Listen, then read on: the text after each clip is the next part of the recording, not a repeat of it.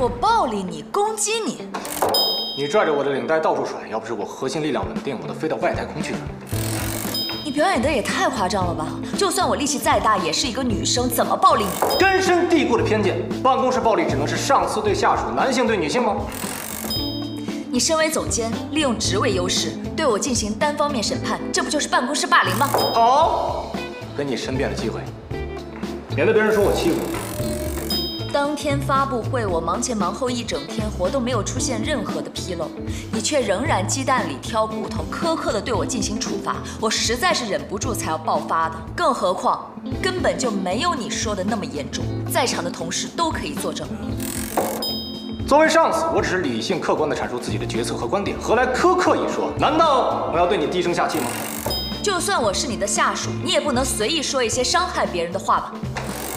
我只是坦诚的在说实话，难道你让我撒谎吗？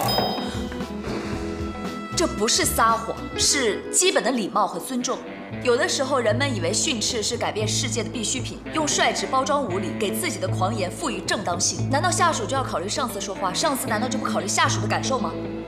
这不就是以强欺弱吗？你的意思是，以强欺弱是普遍存在的，而以弱欺强是不可能发生的，对吗？朋友们，在这个世界上，以弱欺强的事件还少吗？弱就是正义，弱就有理了，这是对强者的巨大不公。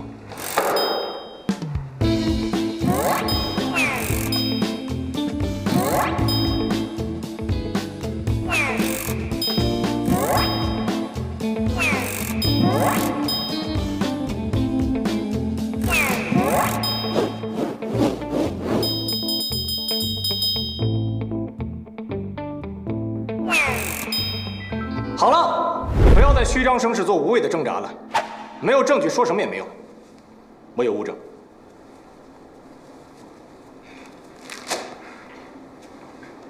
这就是他行凶的凶器。蛋糕也能当凶器？只要内心充满行凶的动机，头发丝也可以当做凶器。还在狡辩，看来你并不是真心实意想获得我的原谅。就像最后一排第二位员工一直在打瞌睡，你也并不是真心实意的来参加这次审判会。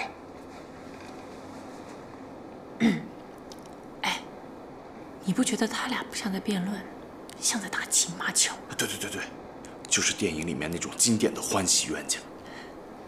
我就说嘛，白总监对路多的特殊照顾也太过特殊了一点，他俩不会。白真相，李路多，我觉得这 CP 名字就叫李白，粉丝名叫明月光，怎么样？明天开烧话。突然燃起来了，开戏啊！开戏，开戏，开戏！你这个人太不真诚了。我还不真诚，我对你已经忍气吞声了，你这是霸王鹅独断专行。哎，听见没有？听见没有？公然诽谤我，李路多，你还真是从来没变过。